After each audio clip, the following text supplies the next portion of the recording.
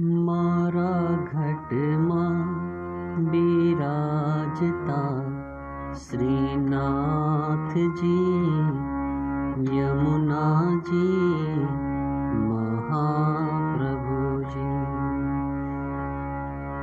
સારેગામ બધાની સાથે તમને આ વગાડતા આવડવું જોઈએ. કોમળ તીવ્ર સ્વરો કયા છે એ પણ જાણ હોવી જોઈએ. અને અલંકાર કરી અને તમારે આ જે સ્વરો છે એનું ઓળખાણ અને ફિંગરિંગનું ખ્યાલ હોવો જોઈએ. અગર તમે પ્રેક્ટિસ નથી કરી, તો પછી તમને વગાડવામાં પ્રોબ્લેમ થશે. મેં અહીંયા થર્ડ ફિંગર મૂકી છે આ રહી આંગળી. આ પણ મૂકી શકાય કેમ કે પાછું આવવું છે મારે એટલે. અને થમ પણ મૂકી શકાય આગળ જવા માટે. બરાબર ને? તો નિયમ એ જ છે કે તમે આમ કરીને આમ આંટી ના મારવી, ક્રોસ ના કરવી એકબીજા પરથી. બરાબર ને? આમ કરીને આમ નહીં વગાડવાનું. એકબીજા પરથી આંગળીને ક્રોસ કરીને મૂકવાની. બાકી આંગળીઓ તો શું છે કે ચેન્જ કરતા રહેવાનું અને ફિંગરિંગ માટે અલંકારની પ્રેક્ટિસ તમારે કરતા રહેવું પડે. તો અહીંયાથી સ્ટાર્ટ કર્યું. કેમ કે મારા ઘટમાં ગ પછી તે વગાડવો છે એટલે. અને સી શાર્પ સ્કિલથી આપણે વગાડીએ છીએ સી શાર્પ બરાબર? તો જે લોકોનો અવાજ આગળ ડી શાર્પ સુધી એટલે કે રે સુધી જતો હશે તો એ ગઈ શકશે. નહીં તો એમને બીજા સ્કેલમાં સ્કેલ ચેન્જ કરીને વગાડવું પડશે. જેની પાસે કીબોર્ડ છે એ લોકો સ્કેલ ચેન્જ કરે, ટ્રાન્સપોઝ કરે અને સ્કેલ ચેન્જર હાર્મોનિયમ હોય તો તો ઠીક છે, વાંધો નથી એમાં કરી શકે. નહીં તો સ્કેલ ચેન્જ કરીને કરવું પડે. નાના છોકરાઓ જે હોય અને ફિમેલ હોય, એમને કાળી પાંચથી યા સફેદ સાતથી ગાય, તો એમને કમ્ફર્ટ સ્કેલ રહે. અને કોઈ ફિમેલનો અવાજ જો હાઈ પીચમાં જતો હોય, તો એ સી શાર્પથી પણ કરી શકે. ફરી એકવાર. હવે એમાં છે, મારા, બને એટલું એને સિમ્પલ કરું છું, જેટલું આપણે અંદર કહેવાય ને, જે લોકો હરકતો કહેતા હોય છે મુરકીઓ કહે છે, બરાબર? જેવા અલગ અલગ નામ આપે છે, ગમક મુરકી હરકત. એટલે મતલબ કે મીંડ, કણ, ગમક, આ બધી વસ્તુઓથી ગીત સરસ લાગતું હોય છે. તો એ ગીતની અંદર જેટલું બને એટલું આપણે સિમ્પલ કરીએ. અને એમાં મીંડ અને કણ, ગમક ઓછું કરીને આપણે કરીએ છીએ. જે કણ ને ગમકને સમજી શકે વગાડી શકે, એના માટે આ વિડીયોની જરૂર જ નથી. જે લોકોને સારેગામમાં ફાવે છે પણ ગીત શોધી શકતા નથી. એમને નોટેશન મળે યા કોઈ બતાવે તો વગાડી શકે, એ લોકો કરી શકશે.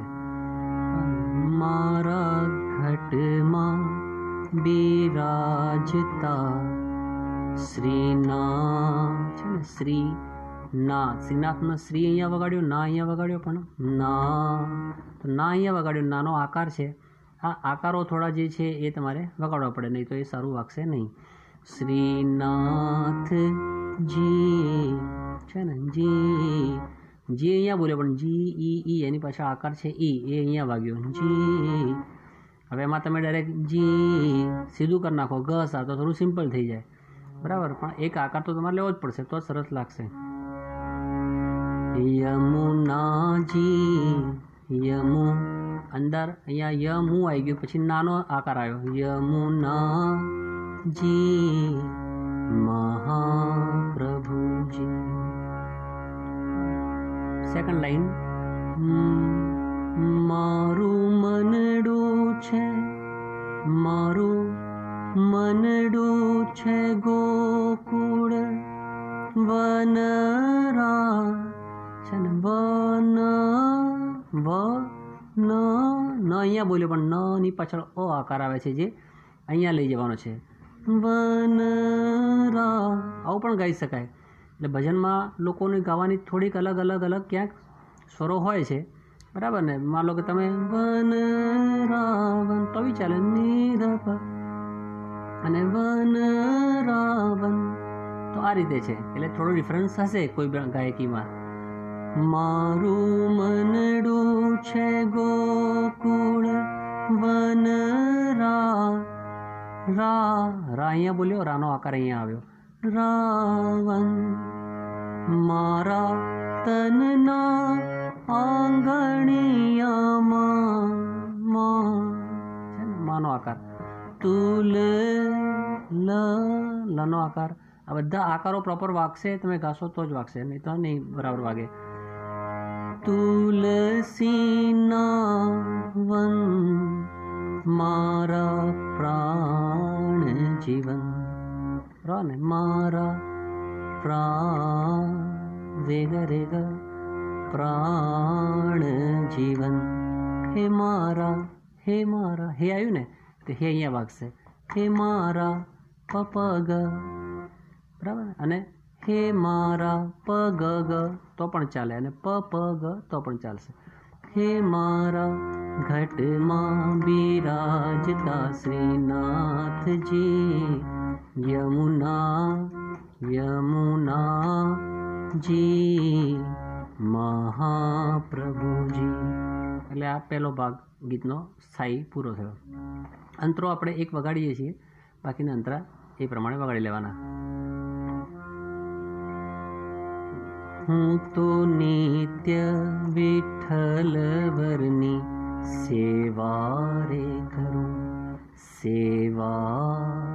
સે અહીંયા વગાડ્યો, વાનો આકાર ખેંચીને અહીંયા લઈ ગયા. સેવા રે કરું. હું તો નિત્ય વિઠ્ઠલ વિઠ્ઠલ. લ અહીંયા વગાડ્યો, લ ની પાછળ અ આકાર આવે છે, જે અહીંયા આવ્યો. लवरनी सेवारे करूँ। हूँ तो आठे समा केरी जाखीरे करूँ। हूँ तो आठे समा केरी जाखीरे करो। मैं तो चितड़ो श्रीनाथ जी ने चरण धर्यों જીવન સફળ કર્યું. મેં તો ચિતડું, આમ કરીને કોઈ ખેંચતું પણ હોય છે. તો એ તમને બીટનું નોલેજ હોવું જોઈએ. તાલનું તાલનું નોલેજ તો હોવું જ જોઈએ તમારે વગાડવા માટે કે તાલમાં વાગે માટે. અગર એ નથી તો તાલમાં નહીં વાગે. એટલે તાલ માટે અલંકારની પ્રેક્ટિસ તમે મારું આગળનો જે અલંકાર પાર્ટ વન પાર્ટ ટુ આપેલું છે એ જોઈ શકો છો.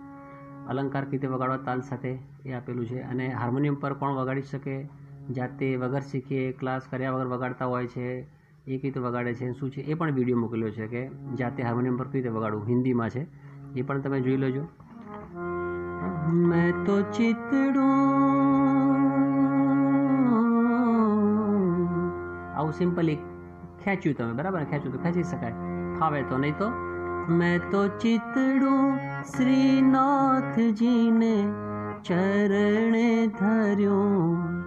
જીવન સફળ કર્યું. મારા ઘટમાં, તો પેલું મારા, એવું હતું. અત્યારે મેં ગાયું, મારા. આ રીતે પણ આપણે વગાડી શકીએ, ગાઈ શકીએ. અને હે લગાવો તો હે એક એક્સ્ટ્રા હે મારા. પણ તાલનું તમારું ટાઈમિંગ પણ જળવાવું જોઈએ. ઘટમાં બિરાજતા શ્રીનાથજી, યમુનાજી, મહાપ્રભુજી. આપણે એને તાલ સાથે ગાઈએ, બરાબર ને? ભજની તાલ, કહેરવા તાલ છે, કહેરવામાં વગાડી શકાય. અને ભજન છે, તો આપણે ભજની તાલમાં વગાડીએ.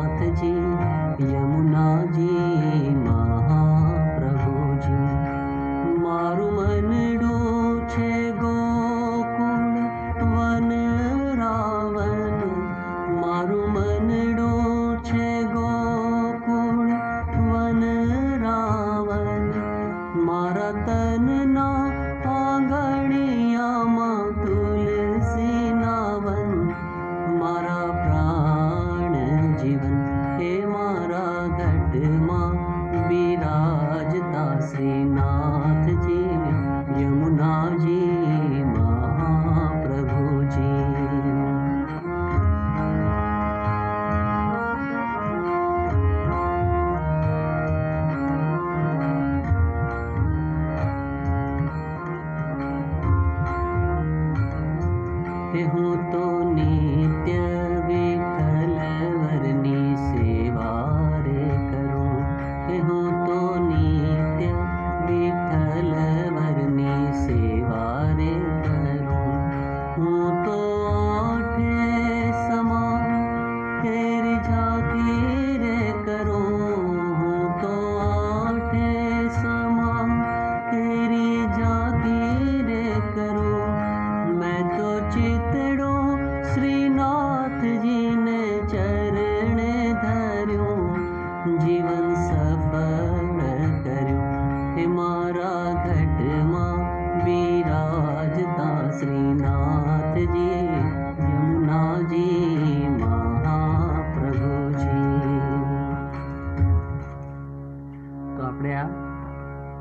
તાલ સાથે થોડું કર્યું.